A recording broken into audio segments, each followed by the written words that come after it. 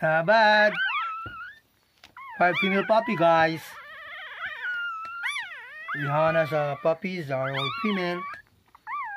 Thank you, Rihanna. And thank you, LeBron. Welcome to the world.